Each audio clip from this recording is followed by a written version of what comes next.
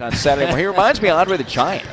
But the guy's, he can move. He's got some skills. Oh, my! Flying around him on the high screen was Kelsey Barlow. Bhullar went over to challenge. Barlow went up over the top, and we know he's got some ups. A wide range of moves in there, stepping out, knocking down the 15-foot jump shot. Tell you what, that was a pretty shot, too, a nice That's rotation. unstoppable. If yeah. a seven-footer can knock that down, Oh. Doing a nice job penetrating, not forcing the action inside, kicking it out to the open shooters, and they're knocking them down.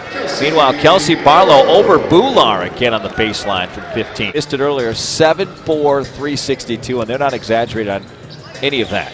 Kelsey Barlow, nice job looking off the big man, and then finishes with the right hand across the paint down the lane. Pointers already in this first half for Toronto, Brett.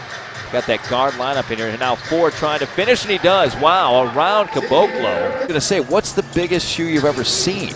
And That's got to be it.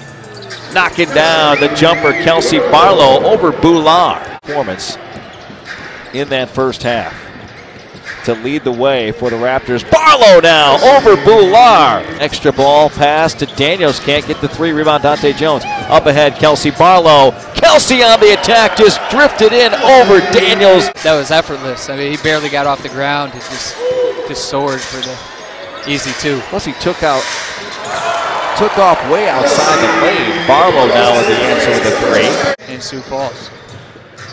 Barlow with a three, couldn't get it long. Karam now double clutching and hanging in the air off the feet from Forbes, getting it back on the attack. And